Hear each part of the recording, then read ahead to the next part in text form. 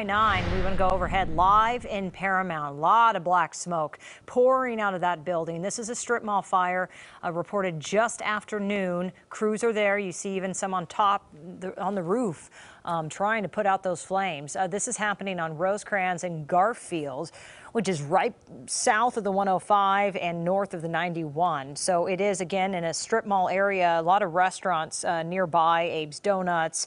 Um, there are also some other uh, not only restaurants, but uh, textile type businesses operating there. You can see what a large building this is. So just a lot of that smoke coming out from the middle uh, of this building, of this, and we're not exactly clear on what type of uh, company was operating out of this exact location. But my producer just told me no injuries. So that is the good news because it is in the middle of the workday. But you can just see how many firefighters have already responded uh, with their ladders, uh, trying to put this out, of course, as quickly as possible so it doesn't spread.